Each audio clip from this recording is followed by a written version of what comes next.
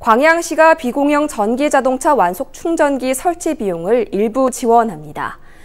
비공영 충전기란 개인이 설치 관리하면서 사적으로 사용하는 시설로 벽부형 스탠드형 충전기는 130만 원, 과금형 휴대용 충전기는 40만 원을 지원할 계획입니다.